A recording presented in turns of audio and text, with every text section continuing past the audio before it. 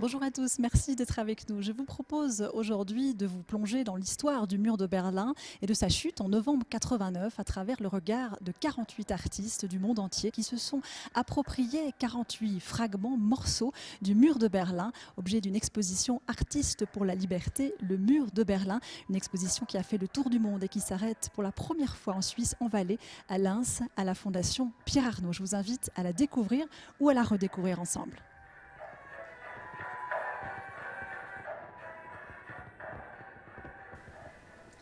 Ingrid Comina, bonjour. Bonjour. Alors, on va commencer à découvrir cette exposition avec vous. Vous êtes scénographe. Peut-être un mot sur euh, l'histoire de cette collection. Comment on est parti de fragments vierges à des œuvres aujourd'hui artistiques? Alors dès en fait euh, la chute du mur de Berlin, des morceaux de, ce mur ont été prélevés, conservés et euh, en fait monsieur à l'origine de cette collection, c'est monsieur Sylvestre Verger qui a proposé euh, sa collection de murs de fragments vierges à 48 artistes. Dans un premier temps, euh, dès la chute du mur de Berlin en 89, donc on a des œuvres qui datent de 89-90, mais également pour les 10 ans de la chute du mur euh, plus tardivement. Est-ce que l'art a permis donc justement ce recul sur l'histoire? Oui, tout à fait, parce que les premières œuvres qui datent euh, de la chute du mur de 89-90, on sent déjà encore euh, cette, euh, cette crainte, l'ombre du mur qui pèse, où on dénonce le côté idéologique, totalitaire.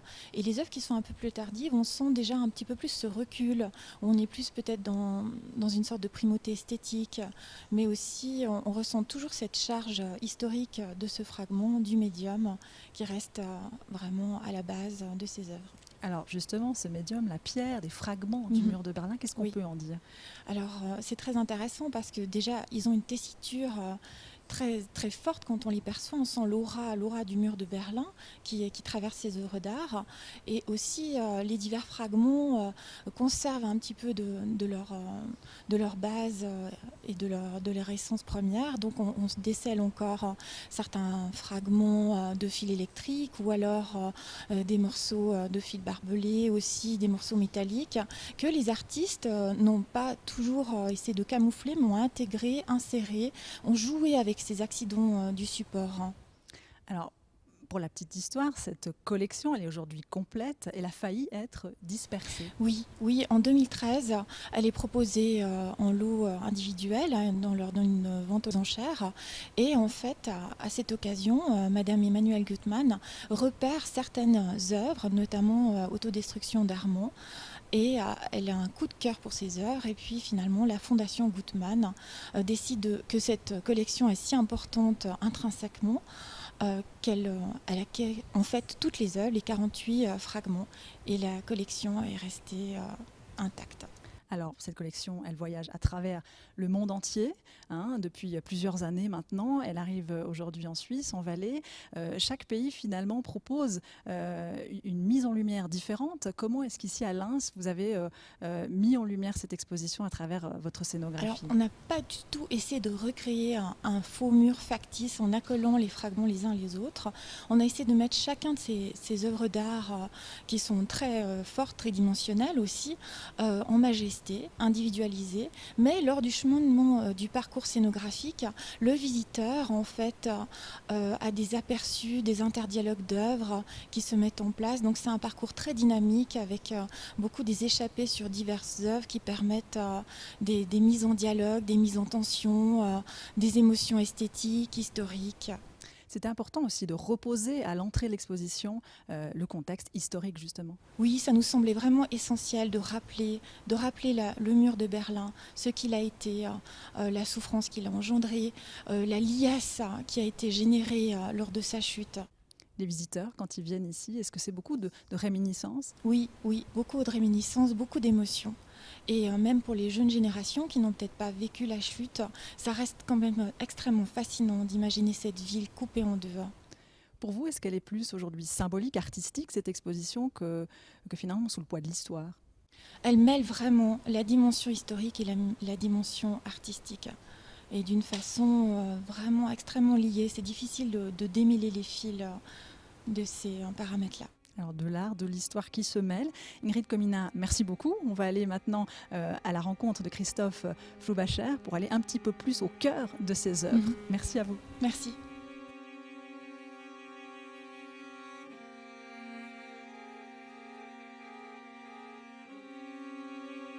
Christophe Floubacher, bonjour. Bonjour. Alors 48 artistes qui se sont appropriés des morceaux, des fragments du mur de Berlin après sa chute en 89. Qui sont ces artistes? Alors on a des têtes de série, hein, comme le sculpteur français Armand ou le suisse Luciano Castelli ou encore le russe Boris euh, Zaborov. C'est vraiment une collection internationale. Tout à fait. Tous ces artistes ont, ont eu carte blanche hein, et on a donc 48 fragments euh, d'une diversité assez extraordinaire. Alors justement, sur cette carte blanche, qu'est-ce qui ressort peut-être de ces différentes interprétations? Est-ce qu'il y a des familles? Alors on a effectivement des familles. Par exemple, l'image du couple. Euh, deux Allemagne, deux Berlin, donc certains artistes ont traité effectivement la, la polarité. On a des artistes qui se sont ingéniés à travailler sur le support, là où le mur a des fragments, des lézards, des brisures. C'est le cas d'Armand qui euh, insère des marteaux et des faucilles exactement là où le mur est lézardé. À l'inverse, on a des artistes comme Daniel Buron, le célèbre Daniel Buron, qui font du Buron, c'est-à-dire qui nient au fond la symbolique euh, du support. Euh, ce qui les réunit tous, c'est euh, le célèbre aphorisme de Marshall McLuhan. Le message, c'est le médium. Plus que ce qui est représenté, c'est le fait de travailler sur ce support-là. Et vous avez des artistes qui ont esthétisé le mur, des artistes qui l'ont enfermé, comme euh, la célèbre boîte de Pandore, ou alors des artistes qui l'ont condamné à mort, à l'instar de Rolf Knie, qui l'a disposé sur une chaise électrique euh, des années 50 aux, aux États-Unis. Une œuvre très très forte. Est-ce qu'il y a d'autres œuvres d'artistes suisses comme Rolf Knie Alors il y a John Armleder qui semble anticiper le merchandising qui suit la chute du mur. Il a inséré sur son mur des certificats d'authentification. C'est bien le mur de Berlin.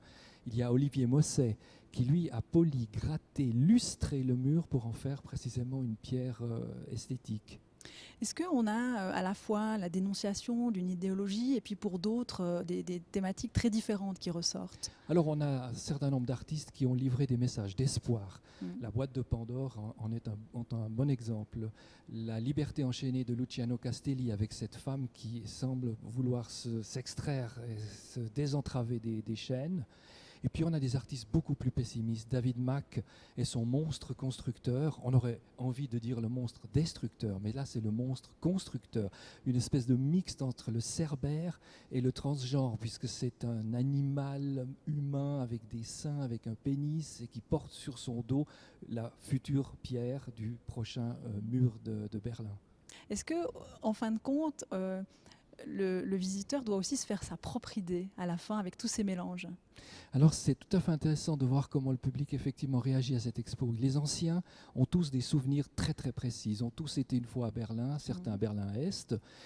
Et ce que j'ai constaté, euh, c'est le choc éprouvé par le visiteur s'agissant des murs de Berlin qui se sont érigés après la chute du mur de Berlin.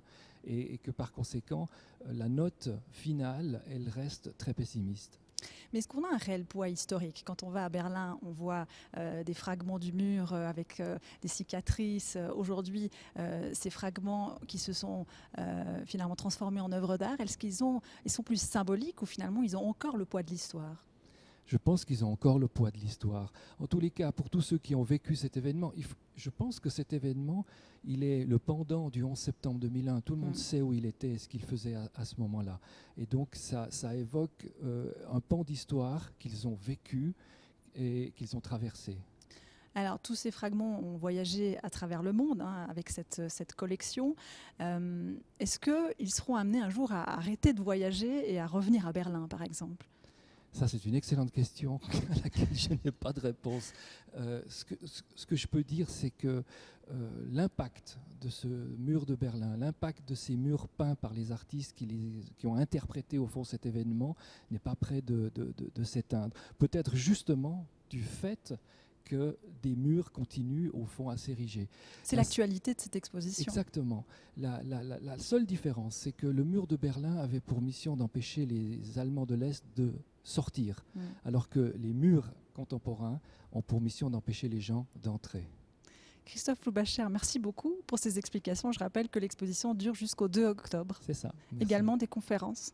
Des conférences, oui, notamment celle de l'ancien conseiller fédéral Pascal Couchepin et, et- et d'autres activités euh, en marge de cette exposition. Merci beaucoup. On invite donc tout le monde à venir visiter cette exposition jusqu'au mois d'octobre. Merci à vous.